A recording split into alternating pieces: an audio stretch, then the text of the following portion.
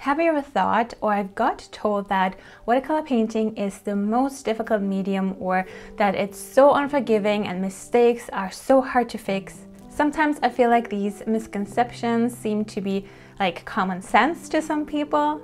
And before you even get started with watercolor painting, these false beliefs can prevent you from experiencing the beauty and full potential of this medium. So let's debunk a few of those myths today so you can actually experience its beauty. Watercolor is the hardest medium to paint with. This is by far the most common sentence I hear or read whenever people talk about watercolor painting. And I believe it's not really true.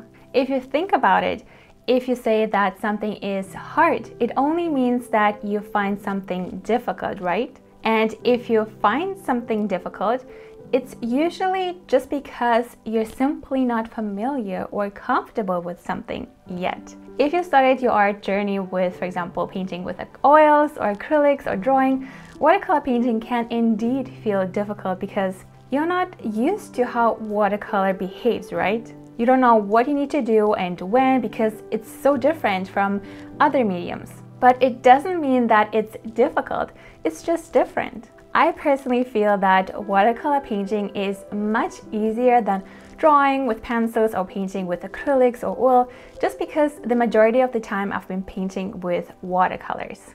So everything else seems more difficult to me. With drawing or painting with acrylics, it's all on you. Meaning, if you put paint onto paper, it just sits there and waits for you to do something. Acrylic paint also tends to dry quickly if you don't use any special tools with that, so you have to hurry up.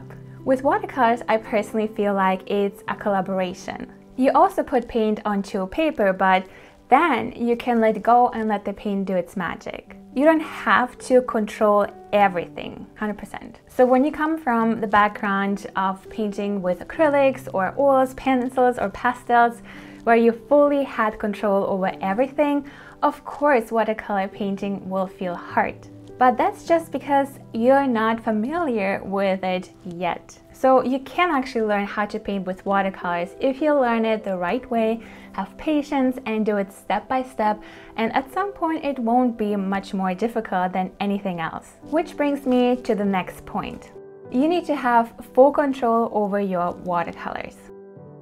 As I said earlier, if you have a background in painting with oils or acrylics, or you're just starting out with painting and you picked watercolors, you might feel like you can't control your watercolors and you should be able to do that. And I know that when you're first starting out, it might feel really challenging because the paint moves uncontrollably. Sometimes something works, something sometimes something doesn't work. So of course you would feel like watercolor is so difficult and you can't really control it. But as I said in the beginning, watercolor is a unique medium that comes with its own set of rules and techniques of how you can use it.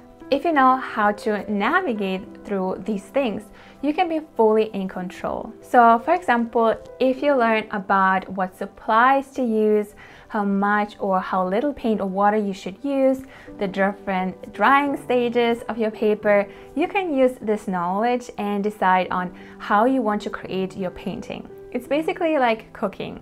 You also need to know what ingredients to use, what goes well with what, how fast or slow you need to do something, or how hot or cold something should be.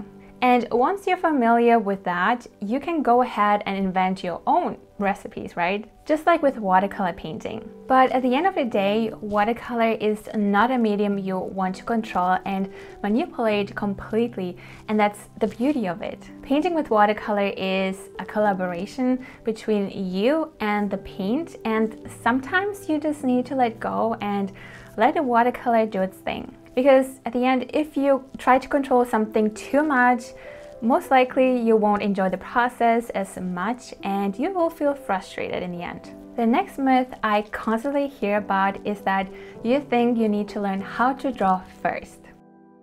But the truth is, you don't really need to know how to draw first. You can absolutely learn how to paint with watercolors without being skilled at drawing or sketching. As I said earlier, watercolor painting has its own rules, techniques, and ways to use it. So it involves its own set of skills you have to learn. Even if you were an expert at drawing, you would still need to learn how to paint with watercolors. And watercolor painting is about colors and overlapping the paint, not so much about drawing lines. And ultimately, you get to decide what you'd like to paint. You can choose between different styles such as abstract or more loose depending on what you enjoy and like the most. In fact, you can create beautiful paintings by only focusing on simple shapes and different colors without touching your pencil even once. From there, you can of course always decide whether or not you want to paint more realistically and then build in some sketching into your art. But being able to draw is definitely not the very first thing you absolutely have to do. As a watercolor beginner, you should start with the cheapest supplies until you get better. This is one of the things that makes beginners think it's all their fault that the pictures they're trying to recreate by following a tutorial just doesn't want to turn out the way they want it. Cheap watercolor supplies can be really tempting because you get a bunch of different colors, brushes and paper and it might seem crazy to buy only 12 colors for the same price instead of 50. But really cheap materials are cheap for a reason and you do get what you pay for. Just because you are a beginner doesn't mean you have to go through the whole frustration of having brushes that shed hair and can't hold any water or having paint that looks chalky, doesn't dissolve easily, and looks pale and muddy on top of paper that breaks and dries streaky after you painted on it for just two minutes. So if you start learning how to paint with watercolors with the mindset that you first need to get better before you can invest in better quality supplies, you might never reach this point because you might give up along the way. And once I started sharing these thoughts on Instagram or here on my YouTube channel, I got so many messages saying what a difference it makes to your experience when you just invest even a little bit more into your supplies. And the good news is that good supplies don't have to be super expensive as long as you know what to look for and where you can shop in a smart way. You need to be born with an innate talent to be able to learn how to paint with watercolors.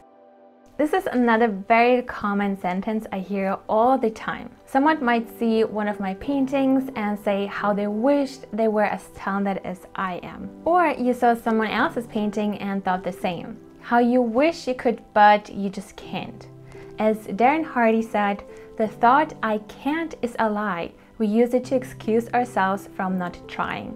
He says that thinking of talent as innate makes our world more manageable and more comfortable. It just takes away the burden of expectation and it relieves people of this stress and comparison.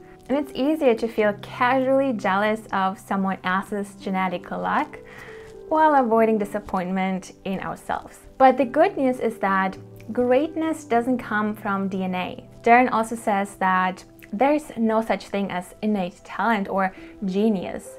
Sure, we have our own unique strengths, but we can all become geniuses and reach mastery in any area of our lives if we commit to a process of constant and never ending improvement. You simply need to be obsessed with something and really mm, commit to it and have this desire to get better and better and better. And everyone who you think is talented simply put in hours and hours of practice to develop that skill that allow them to create the masterpieces you see and admire. As Michael Jordan says, everyone has talent, but ability takes hard work.